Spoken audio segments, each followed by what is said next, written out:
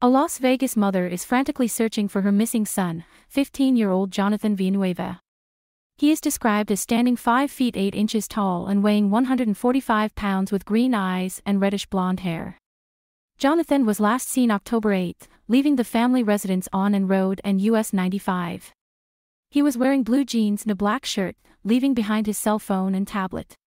His mother states that Jonathan is a very quiet child, very humble and athletic and never complains. He is not believed to have ran away.